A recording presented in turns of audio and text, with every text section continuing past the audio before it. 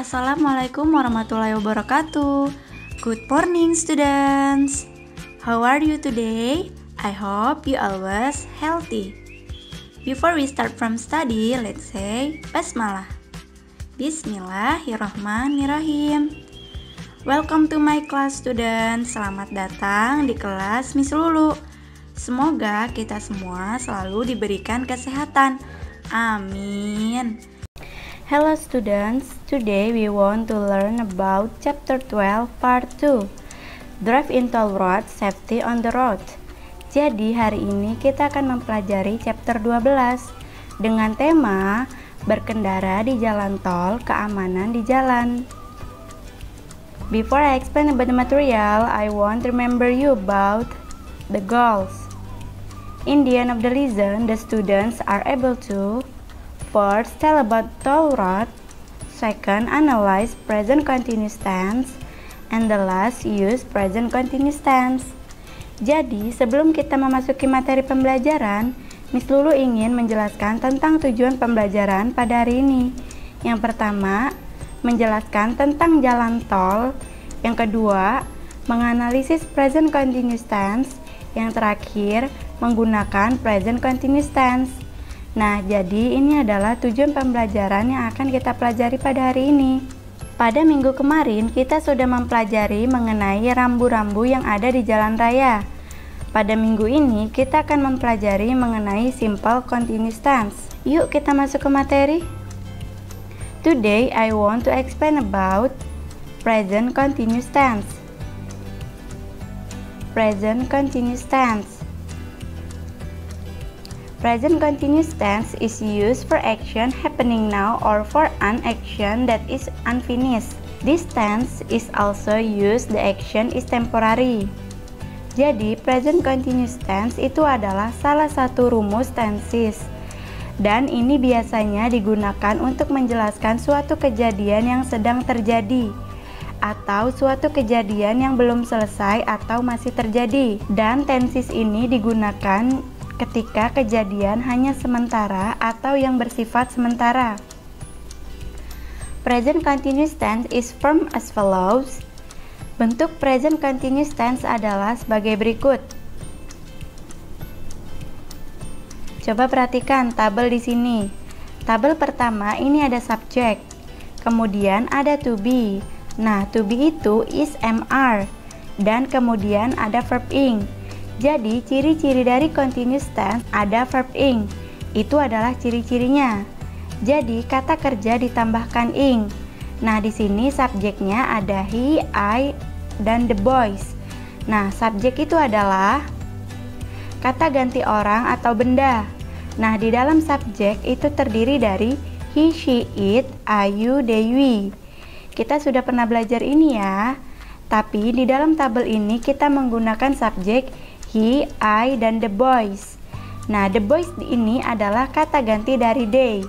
Sedangkan to be adalah kata bantu atau kata penghubung. Nah, to be ini terdiri dari is, am, are. Kalian harus ingat ya, subjek he, she, it, to be-nya adalah is. Subjek I, to be-nya adalah am. Subjek you, they, we, to be-nya adalah are. Nah, yang ketiga adalah kata kerja. Nah, kata kerjanya untuk present continuous tense ini ditambahkan ing.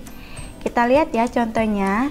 He is swimming. Ini sudah jadi kalimat present continuous tense yang artinya dia berenang. I am singing yang artinya saya menyanyi. The boys are playing artinya anak-anak laki-laki bermain. Ketika kalian ingin membuat kalimat present continuous tense, kalian harus menentukan subjeknya. Lalu to be, ketika kalian ingin membuat kalimat present continuous tense, kalian harus menentukan subjeknya, lalu to be, lalu kata kerjanya. Paham ya? Examples of affirmative or positive sentence. Nah, ini adalah contoh dari kalimat positif. Jadi, seperti biasa, Ketika kalian ingin membuat kalimat tensis, kalian bisa membuat kalimat positif, negatif, dan interrogatif. Nah, yang pertama kita akan belajar contoh dari kalimat positif. The boys are playing ball after school.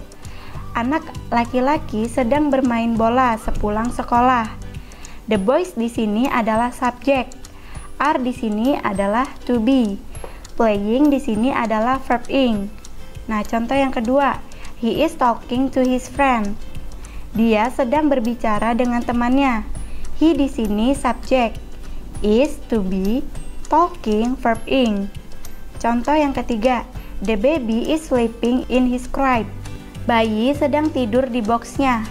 Dan contoh yang terakhir, we are visiting the museum in the afternoon. Kami mengunjungi museum pada sore hari. Paham ya? Oke, kita lanjut ke kalimat negatif. Examples of negative. Contoh dari kalimat negatif. He is not standing. Dia tidak berdiri. Jadi, kalau kalimat negatif hanya ditambahkan not setelah to be. He adalah subjek, is adalah to be, standing adalah verb ing. Contoh yang kedua, Anthony is not sitting in the chair. Anthony tidak duduk di kursi. Contoh yang ketiga, you are not watching the movie. Kamu tidak sedang menonton film. Dan contoh yang terakhir, Rose is not reading a book. Rose tidak sedang membaca buku.